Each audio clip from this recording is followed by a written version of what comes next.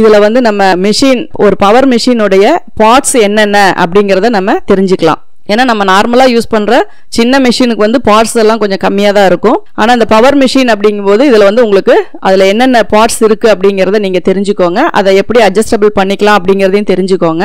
அதே மாதிரி இந்த இந்த மிஷின் வந்து என்னுடைய ஷாப்பில் கிட்டத்தட்ட ஒரு டென் இயர்ஸாக நான் யூஸ் பண்ணிட்டு இருக்க மிஷின் இதனுடைய பார்ட்ஸ் வந்து நான் இப்போ உங்களுக்கு சொல்கிறேன் மொத்தமாக ஒரு பவர் மிஷின் அப்படின்னா டாப் டு பாட்டம் வரைக்கும் மேலே நூல் போடுற ஸ்டாண்ட்லேருந்து கீழே நம்ம பெடல் பண்ணுற அந்த இது வரைக்கும் என்னென்ன பார்ட்ஸ் இருக்குது அப்படிங்கிறத நீங்கள் தெரிஞ்சுக்கோங்க. ஏன்னா அது தான் டக்குன்னு அதில் என்ன கம்ப்ளைண்ட்னு சொல்கிறதுக்கு அந்த நேம் வந்து உங்களால் யூஸ் பண்ண முடியும். இப்போ நான் சொல்கிறது ஃபஸ்ட்டு மேலே பார்த்தீங்கன்னா ஒரு இருக்கிறதுலே டாப்பாக ரொம்ப ஹைட்டாக ஒரு ஸ்டாண்ட் மாதிரி நம்ம கொடுத்துருப்பாங்க. அது வந்து நமக்கு த்ரெட் கைடு த்ரெட் கைடு அப்படின்னா அந்த நூல் இதெல்லாமே அதில் போட்டு நம்ம அந்த ஹோல்ஸ் பார்த்தீங்கன்னா அதில் இருக்கும். மேலே எத்தனை அந்த ஸ்டாண்ட் இருக்கோ அதுக்கு தகுந்த மாதிரி ஹோல்ஸ் இருக்கும். அந்த ஹோல்ஸில் வந்து நம்ம நூல் போட்டு தைக்கும் போது உங்களுக்கு வந்து அந்த நூல் வந்து பிரேக் ஆகாமல் கொஞ்சம் நல்லா கரெக்டாக வந்து உங்களுக்கு பண்ணி கொடுக்கும். அதனாலதான் வந்து உங்களுக்கு அத்தனை கைடு அத்தனை டென்ஷன் அத்தனை லிவர் இதெல்லாமே கொடுத்துருக்காங்க. அதனால நீங்கள் அது எல்லாமே நீங்கள் யூஸ் பண்ணி ஸ்டிச் பண்ணீங்கன்னா தான் உங்களுக்கு நிறைய வர ஒரு சின்ன சின்ன மிஸ்டேக்ஸ் எல்லாம் உங்களுக்கு குறையும். அதாவது த்ரெட் த்ரெட்டிங்லேயும் சரி ஸ்டிச் பண்ணும்போதும் சரி உங்களுக்கு வர சின்ன சின்ன மிஸ்டேக் வந்து உங்களுக்கு குறையும். இப்போ நம்ம ஃபஸ்ட்டு பார்த்தது அந்த ஹோல் அந்த ஸ்டாண்டில் இருக்க ஹோல் வந்து உங்களுக்கு த்ரெட் கைடு அடுத்தது வந்து த்ரெட்டு ஸ்பிண்டில் அப்படிம்போம் அதாவது ஸ்பூல் அப்படின்னு நம்ம சொல்லுவோம். அது வந்து நமக்கு ஒரு நூல் போடுறதுக்கான ரெண்டு இது இருக்கும். ஒவ்வொரு மிஷினில் மூணு கூட மூணு இது கூட இருக்கும். இப்போ இது வந்து நம்ம த்ரெட்டை வந்து உள்ள அதில் போட்டு வச்சுக்கிறதுக்கான அதாவது ரெண்டு த்ரெட்டு மூணு த்ரெட்டு எது வேணுமோ அந்த கலர் வந்து நம்ம அதில் போட்டு வச்சுக்கலாம். அது வந்து ரெண்டு. அடுத்து வந்து த்ரெட்டு ஸ்டாண்டு த்ரெட் ஸ்டாண்ட் அப்படிங்கும்போது உங்களுக்கு வந்து அந்த பிளேட் மாதிரி ரெண்டு கொடுத்துருப்பாங்க. அதை வந்து அந்த ஸ்டாண்டில் வந்து நமக்கு பிளேஸ் பண்ணியிருப்பாங்க அதுக்கப்புறம் த்ரெட் ஸ்பிண்டில் ஸ்பிண்டில் சொல்லலாம். நம்ம ஸ்பூல் பின் அப்படின்னு சின்ன இதில் வந்து நம்ம பார்த்துருப்போம். அது வந்து நமக்கு கீழே அந்த மெஷினில் வந்து ஒரு ஹோல் கொடுத்த மாதிரி இருக்கும். அந்த த்ரெட்டை வந்து நம்ம இதுலேயும் போட்டுக்கலாம் மேலே இருக்கிறதுலையும் போட்டுக்கலாம். அப்படி மேலே இருக்கிறதுல போட்டால் இது நம்ம யூஸ் பண்ண தேவையில்லை. இதில் போடுற மாதிரி இருந்தால் மேலே இதுலெல்லாம் யூஸ் பண்ணாமல் இருந்தோம் அப்படின்னா டைரெக்டாக நம்ம வந்து இதில் கீழே இருக்க அந்த இதில் வந்து நம்ம போட்டுக்கலாம். அதுக்கப்புறம் வந்து ஹேண்ட் வீல் வீல்னால் உங்களுக்கு தெரியும் சின்ன மிஷின்லேயும் அந்த வீல் இருக்கும் பெரிய மிஷின்லேயும் அந்த வீல் இருக்கும். அது வந்து நமக்கு எப்பவுமே அந்த இதை வந்து நம்ம ரொட்டேட் பண்ணி ஸ்டிச் பண்ணுறது தான் சின்ன மிஷினில் தான் நம்ம கையில் டச் பண்ணுவோம். பவர் மிஷினை பொறுத்த வரைக்கும் நம்ம வந்து காலில் தான் அந்த இது எல்லாமே ஏன்னா அது ரொம்ப ஸ்பீடாக போகும்போது நம்ம கையை கொண்டு போய் அதில் வைக்கக்கூடாது ஏன்னா அது வந்து கையில் காயம் ஆகும் அதனால நம்ம எல்லா அட்ஜஸ்ட்மெண்ட்டையுமே நம்ம வந்து ஒன்னா டக்குன்னு சுவிட்ச் ஆஃப் பண்ணுவோம். இல்லைன்னா அந்த பெடல்ல வந்து பின்பக்கமா இது பண்ணி அந்த வீலை வந்து நம்ம ஸ்டார்ட் பண்ணுவோம். ஹேண்ட் வீல் அப்படிங்கும்போது அது நம்ம கையில சுத்துறது அப்படிங்கிறதுனால கையை வச்சு அதை டச் பண்ண தேவையில்லை. பவர் மிஷினை பொறுத்த வரைக்கும் அது ஓவர் ஸ்பீட் அப்படிங்கும்போது நம்ம கையை வந்து அதுல டச் பண்ணக்கூடாது. அதுக்கு அதுக்கப்புறம் பாத்தீங்கன்னா ஒரு பார் மாதிரி ஒன்று இருக்கும். அது வந்து ரிவர்ஸ் ஸ்டிச் கண்ட்ரோல் பண்றது. அதாவது நம்ம பேக் ஸ்டிச்னு சொல்றோம் இல்லைங்களா? அந்த ஸ்டிச்சை வந்து நம்ம கண்ட்ரோல் பண்றது. பின்னாடியும் இது பண்ணிக்கலாம் முன்னாடி இது பண்ணிக்கலாம். அதுக்கப்புறம் பாத்தீங்கன்னா ஒரு அந்த இதெல்லாமே கவர் பண்ற மாதிரி ஒரு ஸ்டாண்ட் இருக்கு. இந்த ஸ்டாண்ட் வந்து உங்களுக்கு நம்ம உள்ள இருக்க பெல்ட்டுக்கு வந்து மேல் பக்கமா தெரிஞ்சா துணி உள்ள போய் சிக்கும் நூல் சிக்கும் அப்படிங்கறதுனால மேல வந்து ஒரு கவர் வந்து உங்களுக்கு அதுல போட்டிருப்பாங்க. அந்த கவர் அதுல போட்டிருக்கறனால உங்களுக்கு வந்து சேஃப்டி ஏதாவது கையும் உள்ள போகாது துணி பிசுறு எதுவுமே உள்ள வந்து உங்களுக்கு அதுல லாக் ஆகாது. ஏன்னா அந்த மாதிரி அந்த கவர் இல்லாம இருந்துச்சு அப்படின்னா நூல் போய் சுத்த சுத்த உங்களுக்கு அந்த பெல்ட் டேமேஜ் ஆகும். சீக்கிரமா வந்து உங்களுக்கு அந்த பெல்ட் வந்து உள்ள அடிக்கடி மாத்திர மாதிரி ஆயிரும். அதனால அந்த கவர் வந்து நமக்கு கொடுத்துருக்காங்க. அதுக்கு பக்கத்திலேயே பார்த்தீங்கன்னா பாபின் சுத்துறதுக்காக வைண்டர் கொடுத்துருப்பாங்க. அதை யூஸ் பண்ணி நம்ம பாபின் சுத்திக்கலாம். இதனுடைய ப்ரொசீஜர் த்ரெட்டிங் எல்லாமே வந்து உங்களுக்கு அடுத்த வீடியோல நான் சொல்றேன். இப்போ இந்த பார்ட்ஸை மட்டும் நீங்க ஒரு தடவை எல்லாம் பார்த்து அதை நோட் பண்ணி மைண்ட்ல வந்து நீங்க நல்லா செட் பண்ணி வச்சுக்கிட்டீங்க அப்படின்னா ரொம்ப யூஸ்ஃபுல்லா இருக்கும். அதே மாதிரி பாபினுக்கு வந்து உள்ள அந்த வைன் பண்றதுக்கான அந்த ஸ்டாண்ட் எல்லாமே நமக்கு கொடுத்துருப்பாங்க. அதுக்கு கீழே பார்த்தீங்கன்னா பவர் ஆன் பண்ணுறது ஆஃப் பண்ணுறதுக்கு சுவிட்ச் கொடுத்துருக்காங்க. அந்த இதுல இருந்து தான் நமக்கு வந்து ஒரு லாங் ஒயர் கொடுத்து நம்ம வந்து சுவிட்ச் பாக்ஸில் வந்து பின் பண்ணுற மாதிரி நல்ல ஹெவியான ஒரு ஒயர் வந்து நமக்கு ஃப்ளக்கோட கொடுத்துருப்பாங்க. இது வந்து கிரீன் கலர் பட்டன் வந்து ஆன் பண்ணுறதுக்கும் ரெட் கலர் பட்டன் வந்து ஆஃப் பண்ணுறதுக்கும் உங்களுக்கு கொடுத்துருக்காங்க. அதே மாதிரி நீங்கள் ஆன் பண்ண உடனே பெடல் அதில் வச்சு ஸ்டார்ட் பண்ணிடக்கூடாது. மோட்ரு வைண்ட் ஆக ஆரம்பித்ததுக்கு அப்புறம் தான் நீங்கள் பெடல் பண்ணணும். இல்லாட்டினா சீக்கிரம் வந்து உங்களுக்கு மோட்ரு வந்து ஃபால்ட் ஆயிரும். எப்பவுமே ஆன் பண்ணி சவுண்டு வந்ததுக்கு அப்புறம் நீங்கள் பெடல் பண்ண ஆரம்பிங்க. பெடல் பண்ண பண்ண சுவிட்ச் போட வேண்டாம். அப்படி போட்டிங்கன்னா உங்களுக்கு அந்த பெல்ட் வந்து சீக்கிரம் தேயறதுக்கான வாய்ப்பு இருக்கு. அதுக்கப்புறம் பார்த்தீங்கன்னா டோட்டலாக ஓவரால் அந்த மேலே இருக்கிறத வந்து நம்ம ஹெட்டுன்னு சொல்லுவோம். அதாவது அதில் நிறையா பார்ட்ஸ் இருக்கும். ஆனால் அதை டோட்டலாக வந்து நம்ம ஹெட் அப்படின்னு சொல்லி சொல்லுவோம். அதுக்கு கீழே அது அப்படியே கீழே பார்த்தீங்கன்னா அதை வந்து பெட் அப்படின்னு சொல்லுவோம். அந்த ஹெட்டுக்கு கீழே இருக்க அந்த ஒரு செவ்வகமா இருக்கிறத வந்து நம்ம பெட்டுன்னு சொல்லுவோம். இந்த மிஷினில் ஒவ்வொரு பார்ட்ஸையுமே நீங்கள் பார்க்கும்போது உங்கள் மிஷினில் அது இருக்கும். நீங்கள் அதை புரிஞ்சுக்கோங்க. சின்ன மிஷினுக்கு வேணும்னாலும் அந்த மாதிரி பார்ட்ஸ் எல்லாமே நாங்கள் இதே மாதிரி உங்களுக்கு நான் வீடியோ போடுறேன். இப்போ இந்த பவர் மிஷினில் இருக்கிறத நீங்கள் பார்த்துக்கோங்க. அதுக்கப்புறம் டேபிள் நமக்கு வந்து எவ்வளோ இதாக கொடுத்துருக்காங்க பெருசாக கொடுத்துருக்காங்க. இந்த டேபிளில் வந்து நிறைய கலர்ஸ் வரும். டிசைன்ஸ் வரும் பிளெயின் வரும் இது வரும் நிறைய வரும். ஆனா மேக்சிமம் வந்து நீங்க வாங்கும்போது இந்த கார்னர் வந்து கரெக்டா வர்ற மாதிரி இந்த வளைஞ்ச மாதிரி எல்லாம் இருந்தா உங்களுக்கு அதுல ஒரு சில இது வச்சு நம்ம மார்க் பண்ணுவோம். அந்த கீறி விடும்போது அந்த ஸ்ட்ரைட் லைன் வரணும் அப்படிங்கும்போது இந்த கார்னர்ல வச்சு நம்ம பிரஸ் பண்ணுவோம் நகத்துல. அந்த மாதிரி வேணும் அப்படிங்கும்போது மோல்டு அந்த இது வளைஞ்ச மாதிரி இருக்கிற மாதிரி வாங்குனீங்கன்னா உங்களுக்கு அவ்வளோ ஏன்னா அது வந்து உங்களுக்கு துணி ஃபிளெக்சிபிளா போகிறதுக்காக தான் அந்த பிளேட் டேபிள் அப்படி கொடுத்துருக்காங்க. ஆனா நமக்கு அதை ஏதாவது யூஸ் பண்ணோம் அப்படின்னா அது கார்னரா இருந்தா நம்மளுக்கு கொஞ்சம் ஈஸியா இருக்கும். இந்த டாட் பிடிக்கும் போதெல்லாம் அந்த இடத்துல வச்சு நம்ம மடிக்கிறது பண்றதெல்லாம் செய்யறதுக்கு அது ஈஸியா இருக்கும். ஒரு சில டேபிள்ல வந்து இன்ச்சு கணக்கு கொடுத்துருப்பாங்க சென்டிமீட்டர் கணக்கு கொடுத்துருப்பாங்க. அது மாதிரி இருக்கும்போது உங்களுக்கு இன்னும் ஈஸியா இருக்கும். ஏதாவது ஒன்று மெஷர் பண்ணணும் அப்படின்னா அந்த இன்ச்சு கணக்கு அந்த சென்டிமீட்டர் கணக்கெல்லாம் இருக்கும்போது உங்களுக்கு சீக்கிரமா அதுல அதுலயே அப்படியே மெஷர் பண்ணி நீங்க ஸ்டிச் பண்ணிக்கலாம் மார்க் பண்ணிக்கலாம். அந்த மாதிரி டேபிள் வந்து நிறைய வெரைட்டிஸ் இருக்கு. அது ஒவ்வொரு கம்பெனிலையும் ஒவ்வொரு மாதிரி வரும். அதுக்கப்புறம் பாத்தீங்கன்னா டூல் டிராயர் இது வந்து நம்ம எல்லா டூல்ஸையுமே உள்ளே போட்டு வச்சுக்கலாம். உள்ளே வைக்கிறதுக்கு அது நிறையா ஸ்பேஸ் இருக்கும். அது உங்களுக்கு நிறைய ட்ராயர்னாவே உங்களுக்கு தெரியும். எல்லாத்துலேயும் எல்லா மிஷின்லேயும் இருக்கிறது தான் அதுக்கு கீழே பார்த்தீங்கன்னா உங்களுக்கு வந்து பேன் மாதிரி அதாவது நம்ம உள்ளே வந்து ஆயில் வந்து ஊற்றி வச்சுருப்போம் பவர் மிஷினில் அதுக்கான கீழே வந்து பேன் நார்மல் மிஷினில் அதெல்லாம் ஓப்பனாக இருக்கும். பவர் மிஷினில் க்ளோஸ்டாக இருக்கும். ஏன்னா ஆயில் அதில் இருக்கிறனால அந்த ஆயில் வந்து எங்கேயுமே லீக் ஆகாமல் துணி டேமேஜ் ஆகாமல் இருக்கணும் அப்படிங்கறனால அது ஃபுல்லாகவே கவராக தான் இருக்கும். அப்படியே அந்த மேலே இருக்க அந்த ஹெட்டை வந்து நீங்கள் உள்ளே ஓப்பன் பண்ணி பார்த்தீங்கன்னா உள்ளே வந்து நம்ம லிட்டர் கணக்கில் ஆயில் ஊற்றுற மாதிரி தான் இருக்கும். ஒரு லிட்டர் அதுல வந்து உங்களுக்கு அளவு கொடுத்துருப்பாங்க. லோ ஹைன்னு கொடுத்துருப்பாங்க. நீங்க மேக்சிமம் வந்து அதை ஹையில இருக்கிற மாதிரியே ஆயில் ஊத்தி வச்சுக்கோங்க. ரொம்ப டேமேஜ் ஆகாம ரொம்ப அழுக்காகாம அதுல வந்து ஒரு மேக்னெட் மாதிரி கூட ஒன்று போட்டு வச்சிருப்பாங்க. அந்த மேக்னெட் இருந்துச்சுன்னா உங்களுக்கு குண்டூசி ஊசி ஏதாவது உளுந்தா கூட அது போய் அதுல வந்து ஒட்டிக்கும். மற்றபடி உங்களுக்கு மேலே வந்து ஆயில் வந்து நமக்கு மிஷின்ல வந்து ரன் ஆகும் உள்ள. அது வந்து நமக்கு எந்த ஒரு கம்ப்ளைண்ட்டும் இல்லாம சுத்தமா ஆயில் வந்து உள்ள வேணும். எந்த டஸ்ட்டும் இல்லாம நீட்டா இருக்கணும். ஆனா அதுலயே வந்து அவங்களுக்கு வந்து ஃபில்டர் மாதிரி கொடுத்துருக்காங்க. இருந்தாலும் நம்ம வந்து அதை நீட்டா வச்சுக்கணும் அப்படிங்கறது இது. அதுக்கப்புறம் கீழே பாத்தீங்கன்னா மோட்டர் ஒன்று இருக்கும். அது வந்து பெரிய மோட்டராகவே இருக்கும். அது வந்து நமக்கு அதுக்குள்ளே நம்ம எந்த ஒரு பார்ட்ஸும் நம்ம பார்க்க தேவையில்லை. அதில் வந்து நம்ம கரெக்டாக அதுக்கு ஆயில் அதுவே பண்ணிக்கிறனால நமக்கு மேக்ஸிமம் நம்ம கொடுக்குற பவர் சப்ளையும் நம்ம கொடுக்குற அந்த வெளியில இருந்து நம்ம கொடுக்குற அந்த பெடல் அட்ஜஸ்ட்மெண்ட் மட்டும் நம்ம கரெக்டாக கொடுத்துட்டே இருந்தால் போதும். அந்த இதில் வந்து எந்த கம்ப்ளைண்ட்டும் நமக்கு வராது. அதுக்கப்புறம் ஸ்டாண்டு ஸ்டாண்டு வந்து நமக்கு அட்ஜஸ்டபிள் ஸ்டாண்டு தான். ஹைட்டு நம்மளுடைய ஹைட்டுக்கு தகுந்த மாதிரி நம்ம வந்து அந்த ஸ்டாண்டை வந்து அட்ஜஸ்ட் பண்ணிக்கலாம். அதுக்கு உங்களுக்கு ஸ்க்ரூ கொடுத்துருப்பாங்க. அதுக்கு உள்ள வந்து ரெண்டு கனெக்ட் ஆகிற மாதிரி ஒரு ஸ்டாண்ட் இருக்கு. அதை வந்து நம்ம காலை வந்து லிஃப்ட் பண்ணிக்கலாம். ஒரு ரைட் ஹேண்ட்ல நம்ம பெடலை போட்டோம் அப்படின்னா லெஃப்ட் ஹேண்டை வந்து நம்ம அதுல வந்து ஹோல்டு பண்ணிக்கலாம். அதே மாதிரி அந்த ஸ்டாண்டு கீழே இருக்க பிளேட் வந்து நம்ம ஸ்டாண்டுன்னு சொல்றோம். அதாவது நிறைய இதுல ஒவ்வொரு பெடல்னு சொல்லுவோம் ஸ்டாண்டுன்னு சொல்லுவோம். நம்ம எப்படி லிஃப்ட் பண்றோமோ அதுக்கு தகுந்த மாதிரி அதை வந்து நம்ம இது பண்ணிக்கிறோம். ஏன்னா நம்ம நார்மல் மிஷின் அப்படிங்கும்போது நம்ம பெடல் பண்ற மாதிரியே இருக்கும். முன்னாடி பின்னாடியும். இதுவும் அதே தான் ஆனா இது வந்து நம்ம மூவ் தான் பண்றோம்.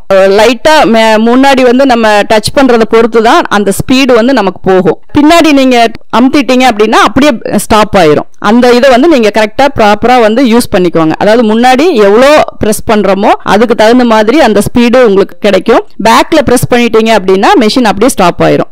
அது வந்து உங்களுக்கு வந்து ஒரு பிரேக் மாதிரி தான். பேக்ல வந்து நீங்க ப்ரெஸ் பண்ணீங்க அப்படின்னா மெஷின் ஸ்டாப் ஆயிரும். அதே மாதிரி அது அதுக்கு வந்து கனெக்ட் பண்ணிருக்க ஒரு லிவர்லயும் அட்ஜஸ்ட்மெண்ட் இருக்கும். உங்களுக்கு வந்து ஸ்லோவா வேணும் அப்படின்னா அந்த இதை வந்து நல்லா பிளேட்டை வந்து கீழே இறக்கிக்கலாம். அப்போ வந்து கொஞ்சம் நல்லா ப்ரெஸ் பண்ணாதான் மெஷின் வந்து ஸ்பீடு போகும்.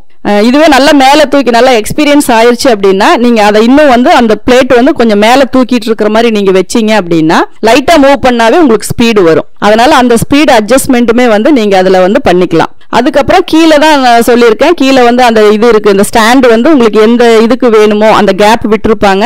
எந்த இடத்துக்கு வேணுமோ உங்களுக்கு உட்காரும் போது பெடல் பண்ணுறதுக்கு கரெக்டாக இருக்கோ அதுக்கு தகுந்த மாதிரி அதையுமே வந்து நம்ம வந்து அட்ஜஸ்ட் பண்ணிக்கலாம். கீழே வந்து பார்த்தீங்கன்னா ஃபோர் வீல்ஸ் இருக்கும். அது வந்து உங்களுக்கு ஹோல்டிங் கிரிப்பாக கீழே ரப்பர் வீல் மாதிரி இருக்கும். அது வந்து உங்களுக்கு கீழே ஹோல்டு பண்ணுறதுக்கு ஈஸியாக இருக்கும். இப்போ இதை பொறுத்த வரைக்கும் ஓவரால் எல்லா பார்ட்ஸுமே வந்து இதில் வந்திருக்கு. அதே மாதிரி மேலே பார்த்தீங்கன்னா உங்களுக்கு அந்த டேபிள்லயே வந்து ஒரு ஸ்டாண்டு கொடுத்துருப்பாங்க. அந்த ஸ்டாண்டுக்குள்ளே நீங்கள் பாபின் த்ரெட்டு இந்த மாதிரி எல்லாம் போட்டு வச்சுக்கலாம். அந்த மாதிரி ஒரு ஆப்ஷனுமே வந்து நமக்கு அதில் கொடுத்துருப்பாங்க.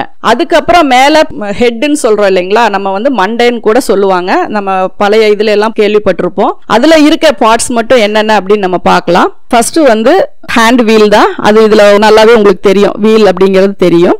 அதுக்கப்புறம் உங்களுக்கு வந்து த்ரெட்டு ஸ்பிண்டில் இதுலேயுமே வந்து உங்களுக்கு ஸ்பிண்டில் கொடுத்துருப்பாங்க. ஸ்பூல் பின் அப்படின்னு நம்ம சொல்லுவோம். அதை வந்து நமக்கு கொடுத்துருப்பாங்க. அது ஒவ்வொரு மெஷினுக்கு தகுந்த மாதிரி ஒன்றோ ரெண்டோ மூணோ எப்படி வேணாலும் அதில் கொடுத்துருப்பாங்க. அதெல்லாமே நம்ம வந்து த்ரெட்டை ஹோல்டு பண்ணி வைக்கிறதுக்காக தான்.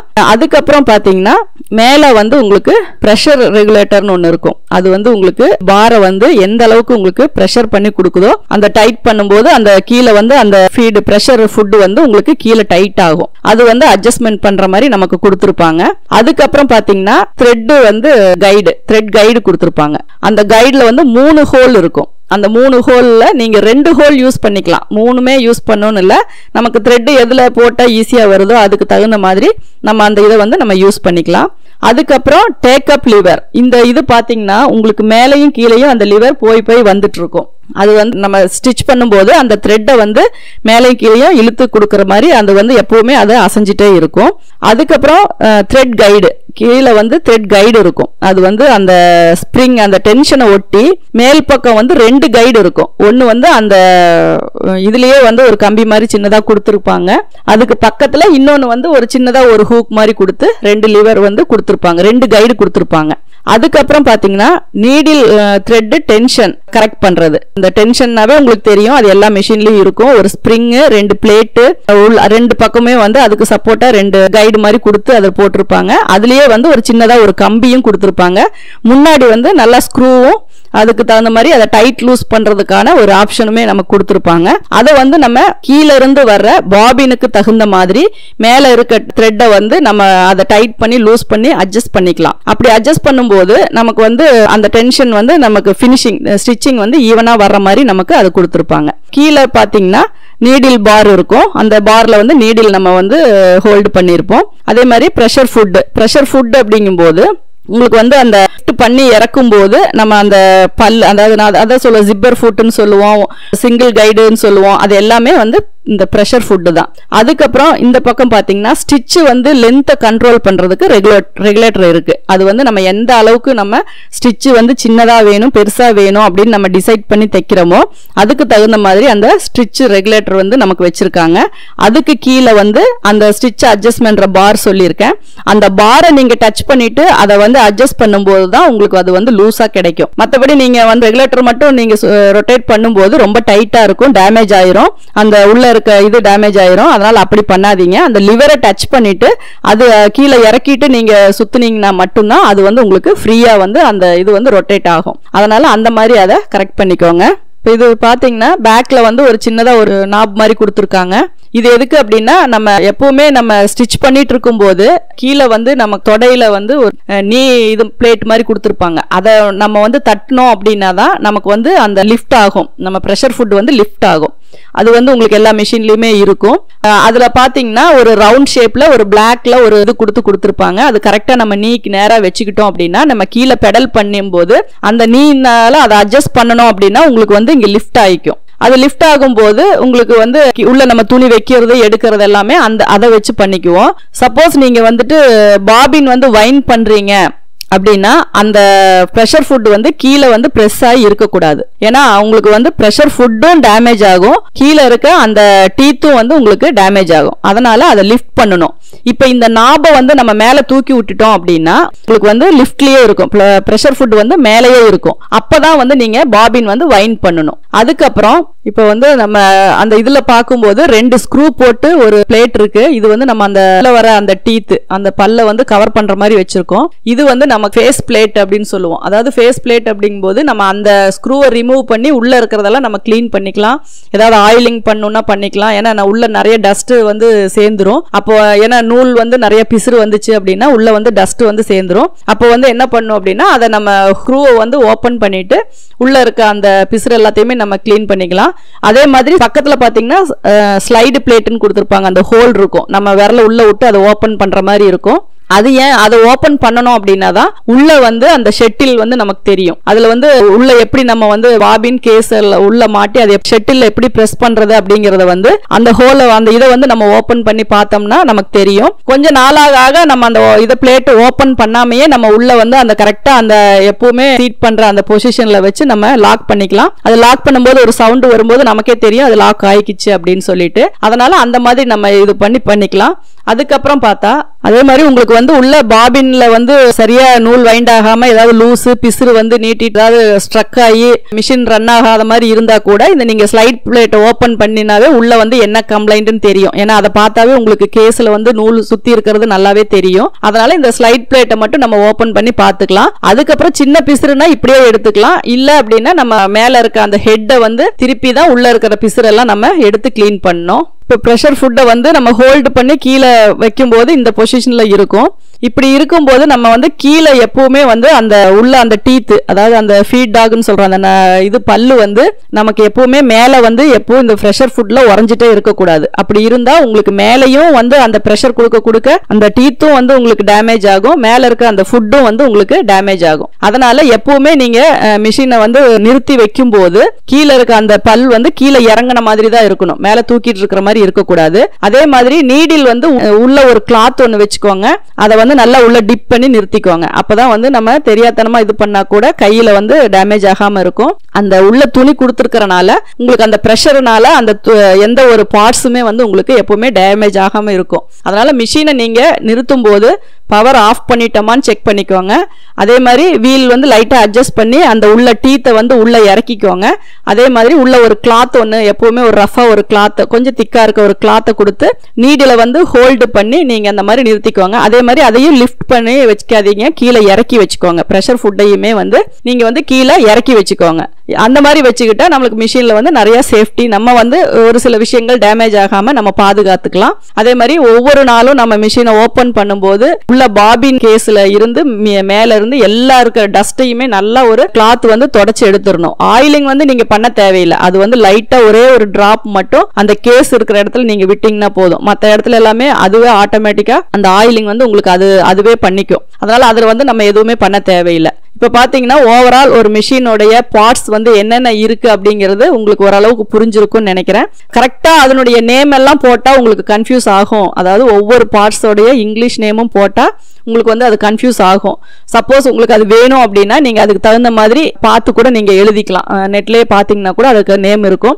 நம்ம வந்து ஒரு ப்ரொஃபஷனலாக ஒரு விஷயம் பண்ணும்போது அதை எப்படி நம்ம சொல்லி யூஸ் பண்ணுறோமோ அந்த மெத்தடில் தான் நான் வந்து உங்களுக்கு இதை சொல்லியிருக்கேன். அதனால் அந்த பார்ட்ஸ் எல்லாமே நீங்கள் ஒரு தடவைக்கு ரெண்டு தடவை பார்த்து மைண்டில் செட் பண்ணிக்கோங்க. அதே மாதிரி பார்ட்ஸ் ஆஃப் மெஷின் அப்படின்னு போட்டு ஃபுல் அண்ட் அதில் என்னென்ன பார்ட்ஸ் இருக்கோ அது எல்லாத்தையுமே எழுதி வச்சுக்கோங்க. ஒரு தடவைக்கு ரெண்டு தடவை படிச்சீங்க அப்படின்னாவே ஆட்டோமேட்டிக்காக அது உங்களுக்கு அதாவது ஃப்ரீ டைம் இருந்தால் அதெல்லாம் பண்ணுங்க. அப்படி இல்லைன்னா அது சொல்றதையே நீங்கள் மைண்டில் செட் பண்ணிக்கிட்டீங்கன்னாவே அது என்னென்ன பார்ட்ஸ் அப்படிங்கிறது உங்களுக்கு புரியும். ஏன்னா என்னென்ன இத்தனை பார்ட்ஸ் இருக்கு நம்ம இது என்னன்னு தெரியாம இருந்திருப்போம். இதை வந்து நீங்க தெரிஞ்சுக்கிறதுக்கு இதை யூஸ் பண்ணிக்கோங்க. இப்போ நம்ம பார்க்குறது வந்து ஒரு ஓவர்லாக் மிஷின் இதில் வந்து அந்த சைடு பிளேட்டு முன்னாடி இருக்க பிளேட் எல்லாமே ஓப்பன் பண்ணி அப்படியே வச்சிருக்கு. இப்போ இந்த ஓவர்லாக் மிஷினோட யூஸ் என்ன அப்படின்னா எந்த ஒரு ட்ரெஸ்ஸஸ் நம்ம தைச்சாலுமே அதுக்கு வந்து ஒரு ஃபினிஷிங் கொடுக்கணும். அந்த ஃபினிஷிங் இருந்தால் தான் அது பார்க்கறக்கு நல்லா அழகாக இருக்கும். ஒரு சில இடங்களில் வந்து வெளியில் தெரிகிற மாதிரியே நம்ம வந்து அந்த ஓவர்லாக் எல்லாம் பண்ணுவோம். அந்த மாதிரி இதுக்கு வந்து ஓவர்லாக் அப்படிங்கிறது வந்து டெய்லரிங் இதில் வந்து நம்ம ரொம்ப ஒரு ஷாப்லலாம் வந்து ரொம்ப இம்பார்ட்டண்டாக அதை வந்து நம்ம யூஸ் பண்ணுறோம் இது வந்து நமக்கு பெடல் மூலமாக ஸ்டிச் பண்ணுறதும் இருக்குது மோட்ரு வச்சு நம்ம அதை அட்ஜஸ்ட் பண்ணி நம்ம மோட்டரில் ஸ்பீடுக்கும் நம்ம இதை கொடுத்துக்கலாம். இப்போ இது வந்து நம்ம மோட்ரு ஸ்பீடில் வந்து கொடுத்துருக்கோம். அதே மாதிரி இது எந்த இடத்துல அந்த மேலே இருக்கிறத மட்டும் கழட்டி எங்கே ஏன்னா இதுக்கு வந்து நம்ம பெடல் வந்து அந்த ரெகுலேட்டர் மட்டும்தான் மோட்டர் அப்படிங்கும்போது எந்த இடத்துல வேணும்னாலும் அதுக்கு தகுந்த மாதிரியான ஸ்ப்ளே இதில் வந்து நம்ம அந்- அதுக்கான ஸ்பேஸ் கொடுத்து அட்டாச் பண்ணிக்கிட்டா போதும். இல்லை நம்ம மெஷின்லேயே வச்சு யூஸ் பண்ணுறோம் அப்படின்னாலும் நீங்கள் யூஸ் பண்ணிக்கலாம். இப்போ இது வந்து நம்ம டேபிளில் வச்சு அட்டாச் பண்ணியிருக்கோம். இது வந்து உள்ள உள்ள ஸ்க்ரூ டைப் தான். நீங்கள் அந்த ஹோல் போட்டு ஸ்க்ரூ பண்ணிக்கிட்டீங்க அப்படின்னா அது ஆடாமல் அப்படியே இருக்கும். மற்ற மெஷினுக்கு எப்படியோ அதே மாதிரி தான் இதுக்குமே வந்து சில த்ரெட்டிங் ப்ரொசீஜர் எல்லாம் இருக்குது மூணு இது வந்து இதுக்கு வேணும். இதுக்கு வந்து மூணு த்ரெட்டு போட்டு தான் நம்ம ஓவர்லாக் அதாவது ரெண்டு வந்து லூப்பர் மூலமாகவும் ஒன்று வந்து நீடில் மூலமாகவும் இதுக்கு வந்து நம்ம த்ரெட்டிங் கொடுக்குறோம்.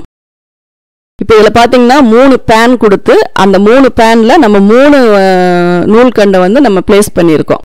இது வந்து எந்த டைப்பில் வேணாலும் நம்ம நூல்கண்டு வாங்கி போட்டுக்கலாம். கலர் வேணும்னாலும் போட்டுக்கலாம். இல்லை உங்களுக்கு வந்து ஃபஸ்ட்டெல்லாம் எல்லாம் சில்க் த்ரெட் வரும். ஓவர்லாக் போடும்போது. ஃபஸ்ட்டெல்லாம் எல்லாம் பழைய ட்ரெஸ்ஸஸ் பேண்ட் ஷர்ட் எல்லாம் பார்த்தீங்கன்னா உங்களுக்கு வந்து சில்க் த்ரெட்டில் தான் கொடுத்துருப்பாங்க. அதை கூட நம்ம வச்சு இது பண்ணிக்கலாம். பார்த்தா அந்த மூணு பேன்ல கொடுத்து மேலே அதுக்கான கைடு கொடுத்துருக்காங்க. இப்போ வந்து ஃபஸ்ட்டு த்ரெட்டிங் வந்து எப்படின்னு பார்க்கலாம். கீழே இருக்க அந்த இதிலிருந்து மேலே இருக்க அந்த கைடு வழியாக நம்ம வந்து இந்த வீடியோஸ் நல்லா கவனமாக பார்த்தீங்கன்னா தெரியும். அந்த த்ரெட்டிங் வந்து எது இது வழியாக உள்ளே போகுது அப்படிங்கிறது உங்களுக்கு தெரியும். மூணு டென்ஷன் இருக்குது மூணு நூலுக்கு மூணு டென்ஷன் இருக்குது இப்போ இந்த ஹோல் இந்த பாரில் பார்த்தீங்கன்னா ஒரு ஹோல் இருக்கும். அந்த ஹோல் வழியாக மேலே இருக்க டென்ஷனில் போட தேவையில்லை. அந்த கைடில் மட்டும் அதாவது ஹோலில் மட்டும் போட்டிங்கன்னா போதும். அதுக்கப்புறம் இந்த பாரில் இருக்க ஹோலில் போட்டு அப்படியே அந்த டென்ஷன் வழியை உள்ளே கொண்டு போனீங்கன்னா மூணு லூப்பர் வந்து அந்த இடத்துல இருக்கும். மூணு லூப்பர்னா கீழே ரெண்டு கொக்கி மாதிரியும் மேலே வந்து ஒரு நம்ம ஒரு இது மாதிரியும் கொடுத்துருப்பாங்க. இந்த மூணுலேயுமே வந்து கீழே இருந்து மேலே கொண்டு போய் மறுபடியும் உள்ளே அதில் வளைச்சி மேலே அதாவது ஒரு ஸ்கேலப் மாதிரி இப்படி ஒரு வளைவான ஒரு இதில் கொண்டு வந்து மேலே பார்த்தீங்க அப்படின்னா மேலே வந்து அதுக்குன்னு ஒரு லூப்பர் இருக்கும். அந்த லூப்பரை நீங்கள் அட்ஜஸ்ட் பண்ணி அதில் கோர்த்துக்கணும். ஏன்னா இது வந்து உங்களுக்கு நூலை வந்து மாட்டி மாட்டி கொடுத்து தான் இந்த இந்த ஸ்டிச்சிங் வந்து நமக்கு ஃபார்ம் ஆகுது. அதனால் ரெண்டு லூப்பர் இருக்கும் இதுக்கு. இதில் வந்து அந்த நூல் பார்த்தீங்கன்னா அது எங்கே எப்படி போகுது அப்படிங்கிறது நீங்கள் அந்த ஃபஸ்ட் இதில் பார்த்தீங்கன்னாவே தெரியும். இப்போ பார்த்தீங்கன்னா அந்த லூப்பர் கீழே நம்ம வீல் வந்து பேக் சைடு தான் ரொட்டேட் ஆகும். நம்ம வந்து ஃப்ரண்ட்ல சுற்றக்கூடாது நார்மல் மெஷின் மாதிரி பேக்கில் தான் நம்ம சுற்றணும் இப்போ பார்த்தீங்கன்னா உள்ள நம்ம அந்த இதில் வந்து பேக் சைடில் வந்து கோர்த்து ஃப்ரண்ட்டில் கோர்த்து அப்படியே நம்ம மேல் பக்கமாக அதை எடுத்துக்கலாம். இப்போ இது வந்து ஃபஸ்ட்டு இது வந்து நீங்கள் நல்லா வீடியோஸை பொறுமையாக பாருங்கள் அதில் பார்த்தீங்கனாவே உங்களுக்கு அது எந்த வழியாக நூல் வருது எப்படி? ஏன்னா நிறைய பேருக்கு ஓவர்லாக் நூல் கோர்க்கிறது வந்து ரொம்ப கஷ்டம். அதே மாதிரி நூல் கட்டானாலும் நீங்கள் முடிச்சு தீரப்போகிற கண்டிஷன்லேயே முடித்து முடிச்சு போட்டு இழுத்துட்டிங்கன்னா ஈஸியாக வந்துடும் இப்போ இது வந்து ரெண்டாவது நூல். இந்த ரெண்டாவது நூல் வந்து நமக்கு இங்கே ஒரு டென்ஷன் கொடுத்துருக்காங்க. இந்த டென்ஷன் வழியாக நம்ம அதை வந்து உள்ளே கொண்டு வந்துக்கலாம். இது வந்து நமக்கு நீடிலுக்கு வர்றது. நீடிலுக்கு வந்து நம்ம கீழே ஒரு கைடு டென்ஷன் இருக்குது மேலே ஒரு டென்ஷன் இருக்குது லூப்பர் அந்த இது பார்த்தீங்கன்னா ரெண்டு கைடு கொடுத்துருக்காங்க.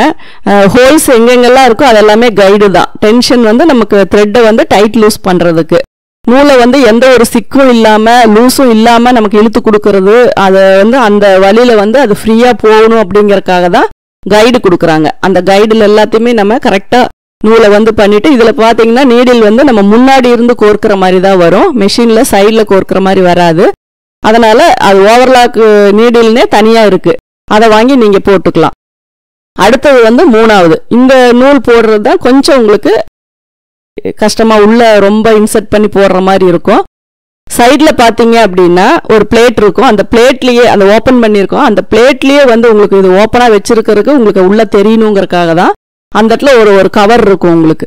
அந்த கவர்ல ஒரு ஹோல் இருக்கும். அந்த ஹோல் வழியே உள்ள கொண்டு வந்தீங்கன்னா ஒரு கைடு இருக்கும். அந்த கைடில் கோர்த்துட்டு அதுக்கப்புறம் அந்த டென்ஷன் மேலே விட்டுக்கோங்க. டென்ஷன் மேலே விட்டுட்டு அப்படியே பக்கத்தில் வந்தால் அதுக்கும் ஒரு பார் மாதிரி நீளமான ஒரு ஹோல் இருக்கும். இந்த டென்ஷன் இருக்கிறது எல்லாமே மூணு டென்ஷனுமே ஒரே அளவுக்கு நம்ம டைட் வச்சோம்னா தான் உங்களுக்கு வந்து ஒரே மாதிரியான ஸ்டிச்சஸ் வந்து ஃபினிஷிங்காக வரும். இதில் எது ஒன்று லூஸ் ஆனாலும் டைட் ஆனாலும் உங்களுக்கு அந்த தையல்லையே வந்து உங்களுக்கு அந்த வித்தியாசம் தெரியும். அதை வந்து நம்ம கரெக்ட் பண்ணிக்கலாம். இப்போ பார்த்தீங்கன்னா இந்த பார் வழியே உள்ள அந்த நூல் போகிற அந்த இது பார்த்தீங்கன்னா அது வழியாக உள்ள போகும். இது எல்லாமே நம்ம மேக்சிமம் கையில் கோர்க்கிறத விட அதுக்காக ஒரு சின்னதாக இடுக்கி மாதிரி நமக்கு ஒன்று கொடுத்துருப்பாங்க. அதை வச்சு கோர்க்கிறது தான். ஏன்னா உள்ள வந்து அந்த கேப்குள்ளெல்லாம் நம்ம விரல் விட்டு கோர்க்கிறது வந்து கொஞ்சம் கஷ்டமா இருக்கும். அப்போ வந்து அந்த இதை வந்து நம்ம அதில் வந்து நம்ம பயன்படுத்திக்கலாம். இப்போ இதில் பார்த்தீங்கன்னா உள்ள ஒரு கைடு இருக்கும். சும்மா இப்படி கொக்கி மாதிரி தான் இருக்கும்.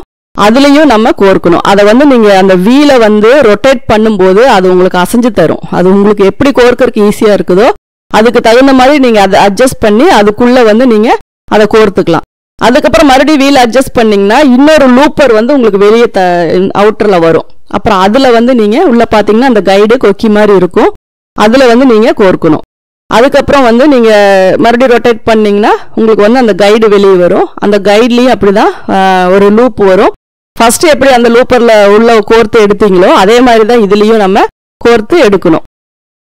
இப்போ பார்த்தீங்கன்னா இதில் ஒரு கொக்கி மாதிரி இருக்கும். அதில் உள் முன்பக்கமாக கோர்த்து அப்படியே பின்பக்கமாக அப்படியே இழுத்துட்டீங்க அப்படின்னா அந்த நூல் இது எல்லாமே வந்து உங்களுக்கு ஓரளவுக்கு ஃப்ரீயாக தான் வரும். ரொம்ப டைட்டாலாம் இருக்காது ஃப்ரீயாக தான் வரும்.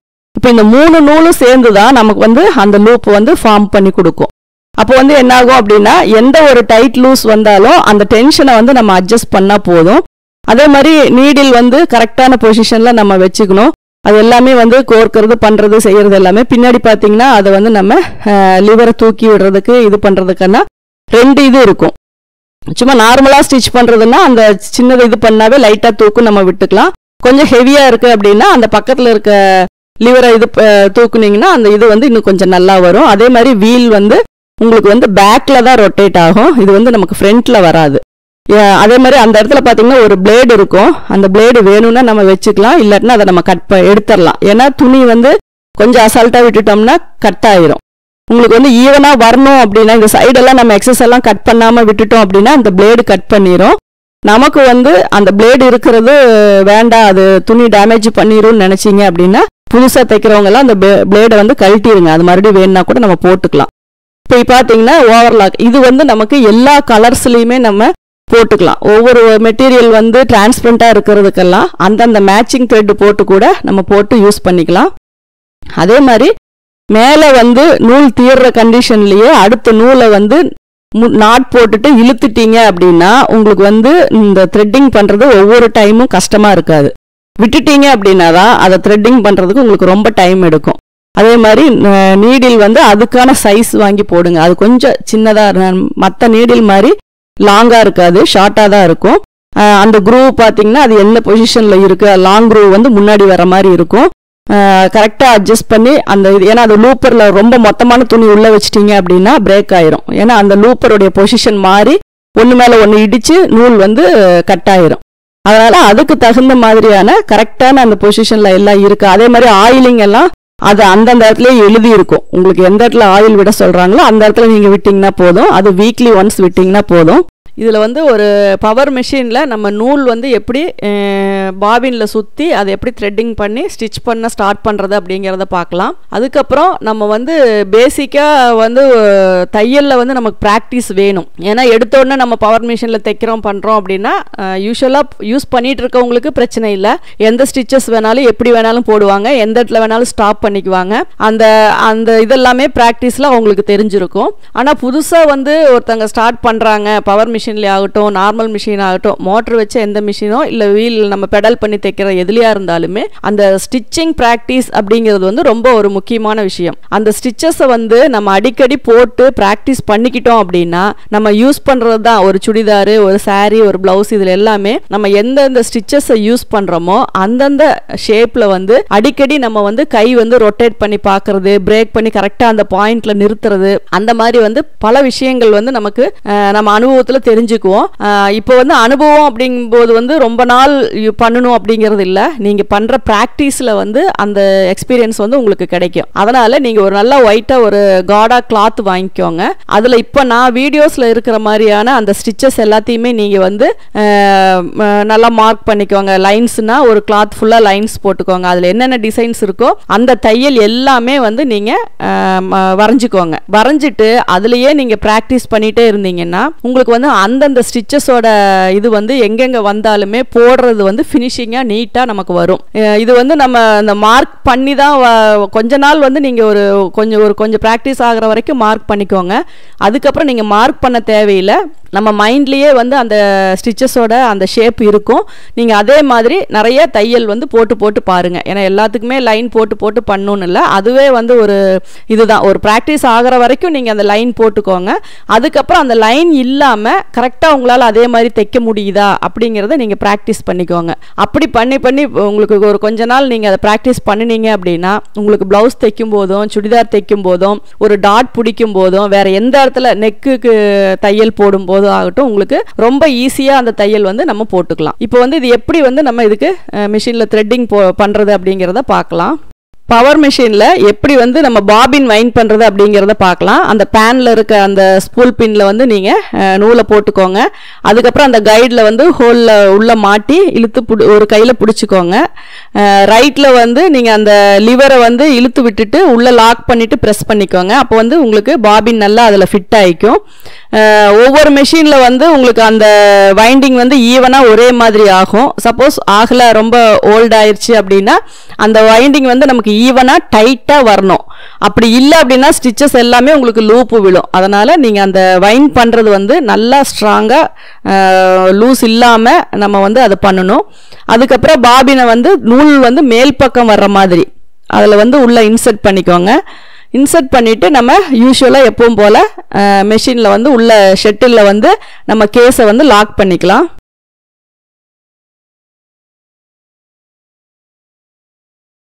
கரெக்டாக அந்த இதில் வந்து லாக் பண்ணிட்டீங்க அப்படின்னா உள்ளே வந்து நமக்கு அது வந்து லாக் ஆகிக்கும் அதில் வந்து ஒரு சும்மா லைட்டாக ஒரு சத்தம் கேட்கும் அந்த பொசிஷனுக்கு தகுந்த மாதிரி அந்த ஹோல் பக்கம் வர்ற மாதிரி வச்சு லாக் பண்ணிட்டீங்கன்னா உங்களுக்கு வந்து அந்த இதில் வந்து கரெக்டாக செட் ஆகிக்கும் அதுக்கப்புறம் மேலே இருக்க நூலை அந்த பேனில் இருக்க ஸ்பூலில் இருந்து மேலே இருக்க அந்த கைடில் வந்து ஃபஸ்ட்டு போட்டுக்கோங்க.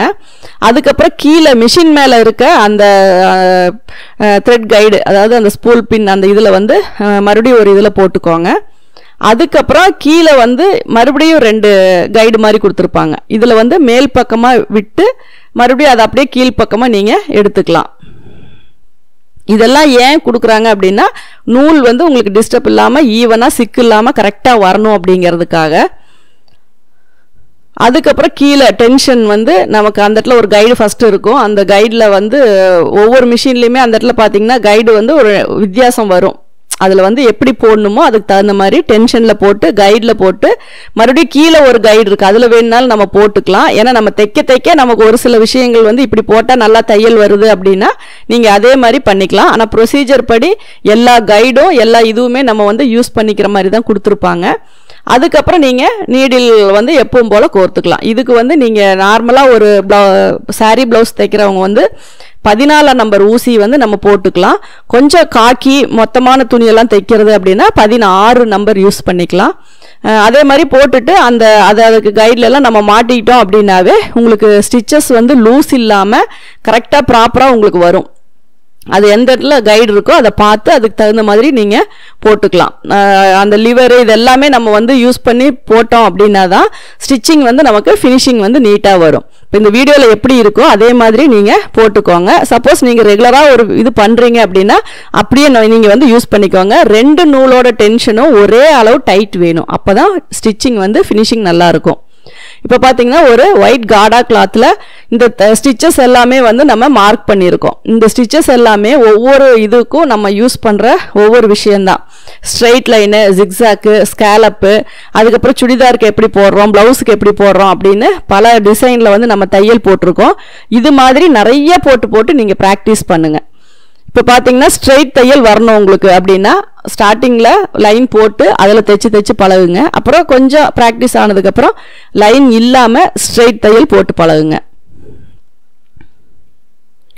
நான் வந்து சும்மா ரெண்டு ரெண்டு தையல் தான் போட்டிருக்கேன். ஏன்னா அந்த ஸ்காலப்பெல்லாம் எல்லாம் போடுறது அப்படிங்கும்போது ரொம்ப பொறுமையாக நீங்கள் போட்டிங்கன்னா தான் அது கரெக்டாக வரும். ஏன்னா அது வந்து ரொம்ப இருக்கிறதுலே கொஞ்சம் கஷ்டமாக ஏன்னா அந்த துணி அந்த அளவுக்கு மூவ் பண்ணி போடுறது வந்து கொஞ்சம் கஷ்டமாக இருக்கும். ஜிக்ஸாக் தையல் வந்து கரெக்டாக அந்தந்த பாயிண்ட்டில் வந்து நிறுத்தணும் அப்படிங்கிறதுக்காக தான் அந்த ஷேப் வந்து நமக்கு ப்ராக்டிஸ் கொடுக்குறாங்க. ஏன்னா அது அந்த கரெக்டாக எந்த இடத்துல ஒரு நெக்கே ஃபினிஷ் பண்ணும்போது பா நெக்கு அப்படின்னா அந்த பாயிண்ட்ல நிறுத்தணும் அப்படின்னா இந்த ப்ராக்டிஸ் வந்து நமக்கு வேணும். அப்படி இருந்தால் தான் அந்த ஃபினிஷிங் வரும். இல்லாட்டினா ஓவராக போய் போய் நிறுத்தணும் அப்படின்னாவே உங்களுக்கு வந்து தையலில் வந்து ஃபினிஷிங் வராது நெக்கும் ஃபினிஷிங் வராது. அடுத்தது வந்து ஜிக்ஸாக் தையல். இதில் வந்து நம்ம கரெக்டாக அந்த பாயிண்ட் வச்சு வச்சு நம்ம போட்டிருக்கோம். இது வந்து நீங்கள் கரெக்டாக இதே ஷேப்பில் போடணும்னு இல்லை.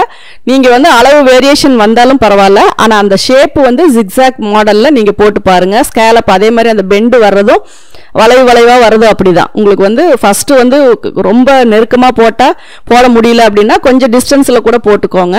அதுக்கப்புறமா வந்து நீங்கள் இது எல்லாமே நீங்கள் வந்து காலில் அந்த ப்ரெஷர் கொடுத்து கொடுத்து நிறுத்தி பழகுக்கணும்.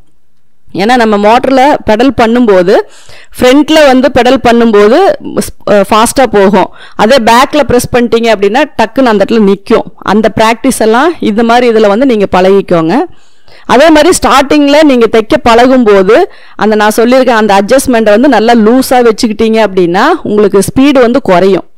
அப்படி இருக்கும்போது இந்த தையல் பழகுங்க. அதுக்கப்புறம் ஓரளவுக்கு எக்ஸ்பீரியன்ஸ் ஆனதுக்கப்புறம் அந்த இதை வந்து கொஞ்சம் டைட் பண்ணி ஸ்க்ரூ பண்ணிட்டீங்க அப்படின்னா உங்களுக்கு வந்து ஸ்பீடாக போகும்.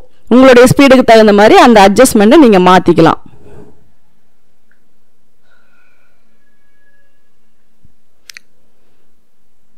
இதே மாதிரி நிறைய நீங்கள் ஒரு ஒரு கிளாத்து ஒரு ஸ்கொயராக அல்லது ஒரு செவ்வகமாக கட் பண்ணிட்டீங்கன்னா அது ஃபுல்லாகவே இந்த டிசைன்ஸ் வந்து நீங்கள் போட்டு பார்க்கலாம். அதே மாதிரி இது கொஞ்சம் ஃப்ளெக்சிபிளான கிளாத்தாக இருந்தால் வளைக்கும் போது உங்களுக்கு அதுக்கு தகுந்த மாதிரி வளையும். அப்படி இல்லை அப்படின்னா கொஞ்சம் பொறுமையாக நீங்கள் அந்த அந்த இதுக்கு தகுந்த மாதிரி நீங்கள் அதை போட்டு அதை ப்ராக்டிஸ் பண்ணிக்கோங்க. ஏன்னா இந்த நம்ம நெக்கு ரவுண்ட் தைக்கிறது அந்த மாதிரி இதில் எல்லாமே பார்த்தீங்கன்னா ஒரு பேட்ச் ஒர்க் ப்ளவுஸ் தைக்கிறோம் அந்த மாதிரி பார்க்கும்போதெல்லாம் உங்களுக்கு அந்த வளைவு தையலெல்லாம் வந்து ஈஸியாக வந்து வரணும். அந்த மாதிரி இருந்தால் தான் உங்களுக்கு வந்து தைக்கிறதுல வந்து ஃபினிஷிங் வந்து நல்லா கிடைக்கும். இந்த ஸ்டிச்சஸ் வந்து நம்ம ப்ராக்டிஸ் பண்ணுறது எல்லாமே வந்து ஃபுல் அண்ட் ஃபுல் வந்து நமக்கு ஃபினிஷிங் வரணும் அப்படிங்கிறதுக்காக தான். ஏன்னா மற்றபடி வந்து எல்லாமே வந்து எப்படி வேணாலும் நம்ம தைச்சிடலாம். ஏன்னா எல்லா தையலுமே கொஞ்சம் முன்ன பின்ன ஓரடிக்கிறது முதல் கொண்டு ஒரு சைடு ஜாயின் பண்ணுறது எல்லாமே தைச்சிடலாம் ஆனால் கொஞ்சம் ஃபினிஷிங் வேணும் அப்படின்னா இந்த ஸ்டிச்சஸ் வந்து நீங்கள் ப்ராக்டிஸ் பண்ணுங்கள் இது பார்த்தீங்கன்னா ச- சுடிதாருக்கு வந்து சைடில் நம்ம போடுற தையல். இது வந்து கரெக்டாக அந்த ஈவனாக மூணு தையல் அல்லது ரெண்டு தையல் வந்து நம்ம கரெக்டாக போட்டுக்கிட்டாதான் இதே ஷேப்பில் பார்த்தீங்கன்னா கீழே ஒரே பாயிண்டில் தான் ஆரம்பிக்கும். மேலே வரும்போது மட்டும் மூணு இதாக நம்ம பிரிச்சுக்கிறோம். இந்த ஷேப்பில் போட்டிங்கன்னா மட்டும்தான் சுடிதாருக்கு வந்து உங்களுக்கு அந்த ஃபினிஷிங் வந்து நீட்டாக வரும். அதனால் இதே மாதிரி வரைஞ்சி கீழே கொண்டு வந்து அந்த ஷேப்பு கொண்டு வந்து கீழே மறுபடியும் பெண்ட் பண்ணி கொண்டு வந்து இதே மாதிரி பழகுனீங்க அப்படின்னா உங்களுக்கு சுடிதாரில் அதை தைக்கும்போது அது இன்னும் வந்து உங்களுக்கு ரொம்ப ஈஸியாக வரும். கரெக்டாக நம்ம எந்த இடத்துல ஸ்லிட்டு நமக்கு ஓப்பன் ஆகுதோ அந்த இடம் வரைக்கும் நம்ம தையல் போடுறோம். அப்போ ஸ்லிட்டு தைக்கும் போது உங்களுக்கு ஈஸியாக இருக்கும். இந்த பொசிஷனில் இதில் எப்படி இருக்கோ இதே மாதிரி தான் நீங்கள் சுடிதாருக்கு சைடு ஸ்டிச்சு போடணும்.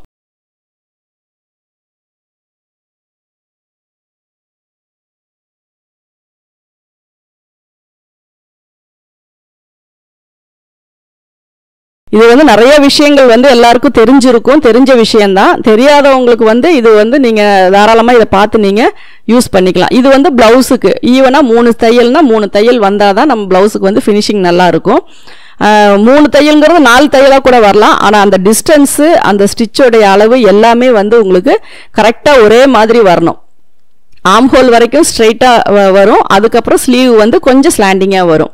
அது அவங்கவுங்க உடம்பு பொறுத்த மாதிரி மாறும். இருந்தால் அதனுடைய பேசிக் பார்த்திங்கன்னா அந்த ஆம் ஹோல் கிட்ட வந்து அந்த மூணு லைனு மூணு பாயிண்ட் கரெக்டாக வரணும். அதே மாதிரி சைடில் போடுற எக்ஸஸாக போடுற ரெண்டு தையல் லூஸுக்காக நம்ம போடுற தையலுமே வந்து கரெக்டாக உங்களுக்கு பார்க்கும்போது அது ஓப்பன் பண்ணும்போதே நல்ல எக்ஸ்பீரியன்ஸாக இருக்கவங்க தைச்சிருக்காங்க அப்படிங்கிற அளவுக்கு நம்ம வந்து தையல் வந்து நல்லா ஏன்னா தையலை வச்சும் ஹெம்மிங் வச்சும் ஹூக் வைக்கிறத வச்சும் தான் நம்மளுடைய ஃபினிஷிங் வந்து மற்றவங்க பார்த்துட்டு நல்லா இருக்குது அப்படின்னு சொல்கிற அளவுக்கு ஃபினிஷிங் பற்றி தெரிஞ்சுக்குவாங்க. அதனால் இந்த பேசிக்கான விஷயங்கள் வந்து ரொம்ப வந்து நமக்கு முக்கியம். ஏன்னா எவ்வளோ ரிஸ்க் எடுத்து நம்ம கட்டிங் போட்டு தைச்சாலும் நம்ம கொடுக்குற ஃபினிஷிங்கில் மட்டும்தான் நம்மளுடைய எக்ஸ்பீரியன்ஸ் தெரியும் நம்மளுடைய இன்ட்ரெஸ்ட் தெரியும்.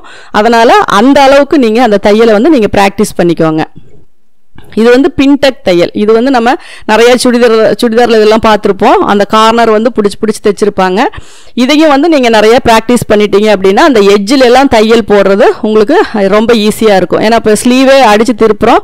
அந்த எஜ்ஜில் தையல் போடுறோம் அப்படின்னா அது வந்து உங்களுக்கு ஈஸியாக இருக்கும். இந்த மாதிரி வந்து நீங்கள் இந்த மாதிரி தையலும் நிறைய இது வந்து செவ்வகமாக சதுரமாக எல்லாம் கோடு போட்டு நிறைய ட்ரெஸ்ஸஸ் வந்து நமக்கு கிடைக்கும். அதே மாதிரி இதை மா கரெக்டாக அளவில் மார்க் பண்ணி அதில் வந்து நீங்கள் தையல் போட்டு போட்டு ப்ராக்டிஸ் பண்ணிக்கிட்டீங்க அப்படின்னா உங்களுக்கு அந்த கார்னரில் த வந்து கீழே இறங்கும் ஊசி. அது இறங்காமல் அந்த ஒரு ஒரு சில நுணுக்கங்கள் வந்து உங்களுக்கு தையல் போட போட தெரியும். அதை ஃபாலோ பண்ணீங்க அப்படின்னாவே உங்களுக்கு எப்போ தையல் போட்டாலும் கரெக்டாக உங்களுக்கு வந்து அந்த கீழே எட்ஜிலேயே தையல் வரும். கீழே இறங்காமல் எட்ஜிலேயே தையல் வரும். இந்த மாதிரி ஒரு சில விஷயங்கள் தான்.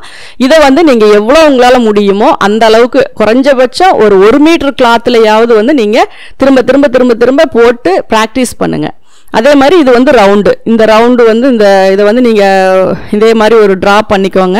எவ்வளோ பெரிய ரவுண்ட் வேணாலும் போட்டுக்கலாம். இதில் வளைச்சி நீங்கள் தையல் போட்டிங்க அப்படின்னா உங்களுக்கு கையினுடைய மூவ்மெண்ட் வந்து அந்த துணிக்கு தகுந்த மாதிரி நம்ம மா அட்ஜஸ்ட்மெண்ட் நமக்கு வந்து ஈஸியாக கிடைக்கும். அதனால தான் இந்த மாதிரி ப்ராக்டிஸ் இது மாதிரி நிறைய ஸ்டிச்சஸ் வந்து நமக்கு ப்ராக்டிஸ் சொல்லித்தராங்க.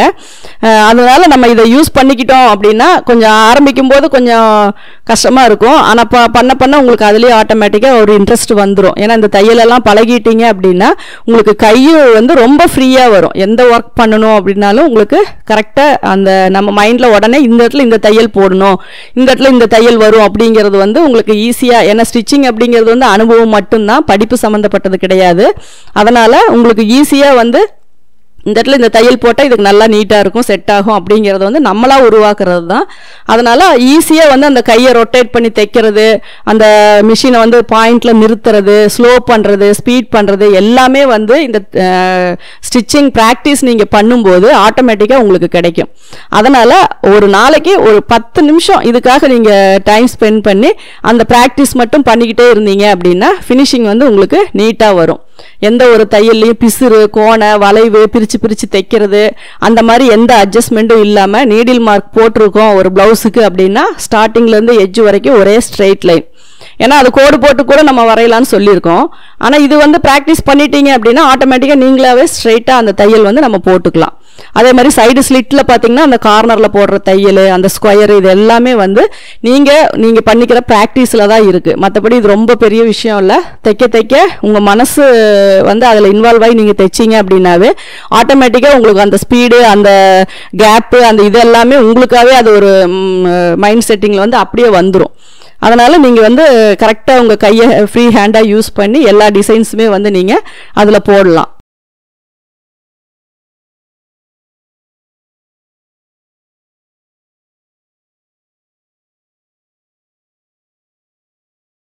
இப்போ பார்த்தீங்கன்னா இது மாதிரி நீங்கள் நிறைய இப்போ என்னென்னலாம் போட்டிருக்கோமோ ஒரு ரெண்டு மீட்டர் கிளாத் மூணு மீட்டர் கிளாத் இந்த மாதிரி காடா கிளாத்தில் வாங்கிட்டு அந்த எஜ்ஜை வந்து கரெக்டாக கட் பண்ணி மடித்து அடிச்சுட்டு இந்த ட- இந்த ப்ராக்டிஸ் எல்லாத்தையுமே நீங்கள் அதில் வந்து எழுதி மார்க் பண்ணி வச்சுட்டு ஒவ்வொன்றுக்கும் எந்தெந்த இடத்துல நம்ம யூஸ் பண்ணுறோம் அப்படின்னு எழுதி வச்சுட்டீங்க அப்படின்னா உங்களுக்கு அதை ரெக்கார்டில் கூட நீங்கள் அட்டாச் பண்ணுறதுக்கு சின்ன சின்னதாக தைச்சு அட்டாச் பண்ணுறதுக்கு இதாக இருக்கும்.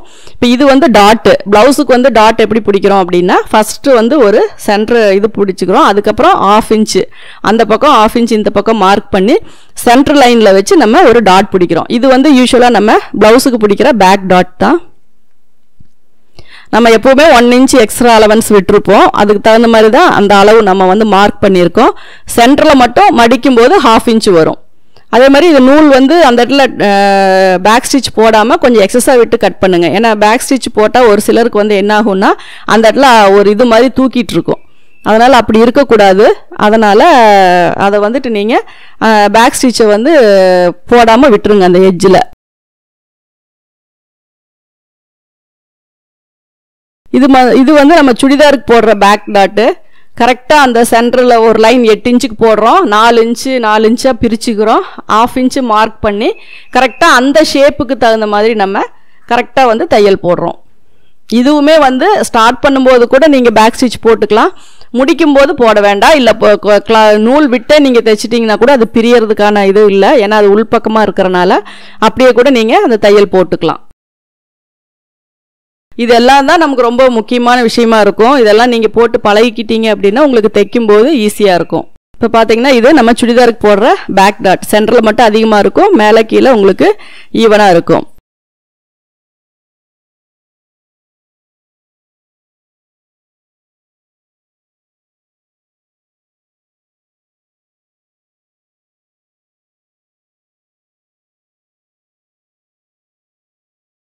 இந்த சேனலை சப்ஸ்கிரைப் பண்ணுங்க. பெல் பட்டன் ப்ரெஸ் பண்ணுங்க. உங்க ஃப்ரெண்ட்ஸ் கிட்ட ஷேர் பண்ணுங்க. அதுல ஏதாவது உங்களுக்கு கமெண்ட்ஸ் தெரிவிக்கணும்னா கமெண்ட்ஸ் பாக்ஸ்ல போடுங்க.